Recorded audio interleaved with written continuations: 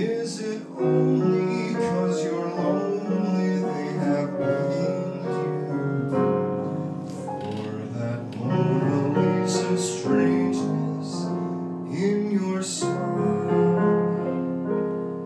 Do you smile to tempt a lover?